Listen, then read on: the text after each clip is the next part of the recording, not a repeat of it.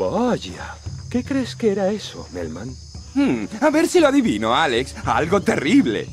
Oh, venga. Por lo que sabemos podrían ser amistosos. ¿O no? Vale. Hay demasiados tipos pinchudos para mí solo.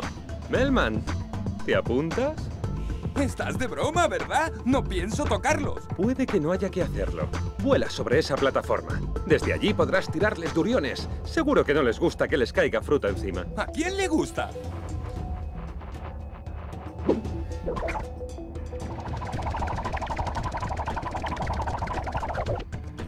Bien hecho, Melman. Podrías dedicarte al lanzamiento de Durión, en serio.